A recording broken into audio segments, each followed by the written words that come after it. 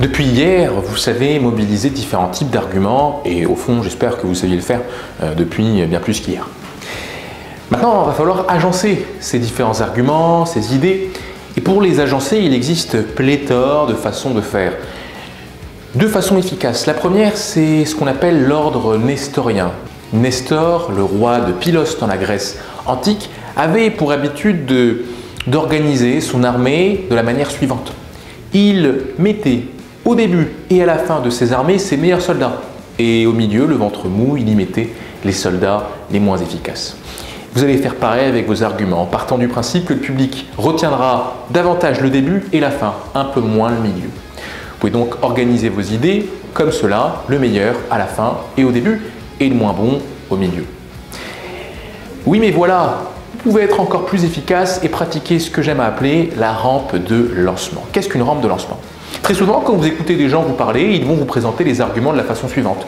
La première idée c'est ça, et puis la deuxième c'est ça, et enfin la troisième c'est ça. Bon, c'est banal, on n'est plus à l'école, et à partir euh, de ce raisonnement, vous savez qu'organiser vos idées de façon classique et scolaire ne leur rend pas service. C'est pourquoi vous devez faire en sorte que chaque argument milite pour celui d'après. La fin de chaque argument doit introduire le suivant en donnant envie d'en savoir plus. Ainsi, pouvez par exemple, après avoir évoqué le premier argument, dire ceci. Le premier argument étant dit, vous devez absolument écouter le second car il fait la différence. Vous dites le second argument. Et pour introduire le troisième, vous allez dire le second argument est cela.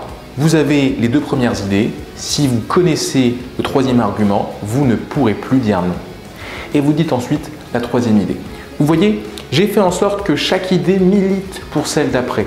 Et créer ces rampes de lancement, créer ces ponts entre vos différents arguments, va vous permettre, je le dis, d'hypnotiser votre public.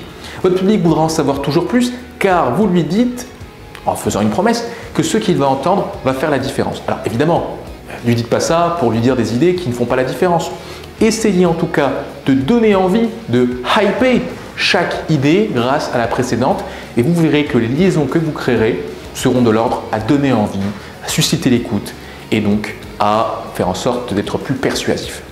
Rampe de lancement, ordre nestorien, et vous allez voir que vos discours risquent d'être sacrément persuasifs. Mettez ça en pratique et nous on se retrouve demain pour une technique de rhétorique euh, qui va vous parler.